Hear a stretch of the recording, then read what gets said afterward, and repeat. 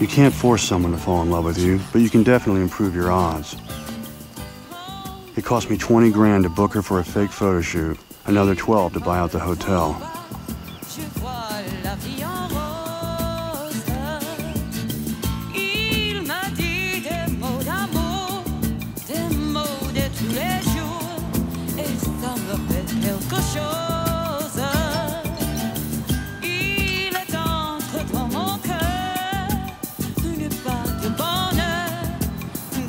Connais le cœur.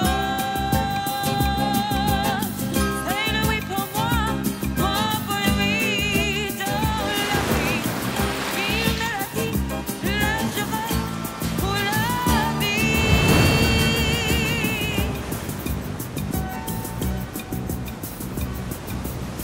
Popular hotel, huh? Ava Fontaine. Yuri Orlov. What brings you to St. Bart's? Photo shoot? At least that was the plan. Guess the photographer got stuck in Miami. Hurricane, though there's nothing on the news. Those things can come out of nowhere.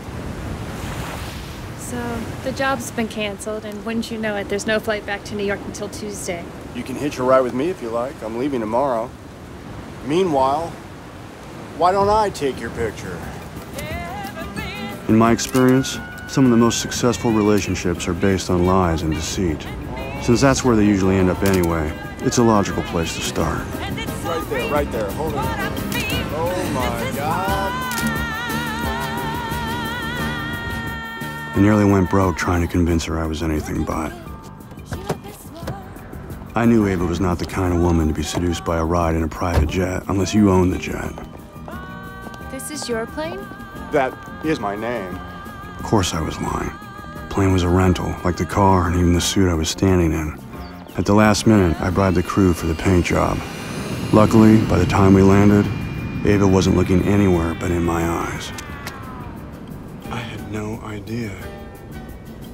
I'm sorry I didn't recognize you. Don't apologize. I put clothes on for a living. Well, at least you're not taking them off. I would be if half the photographers had their way. What about you? I'm in transport. International air freight, mostly. Business is good. Where are you from? I was born in Ukraine, but I grew up in Brooklyn. No. What, you too? Williamsburg. Well, here's to a hurricane. Without it, I never would have met you. This is no accident, is it, Yuri?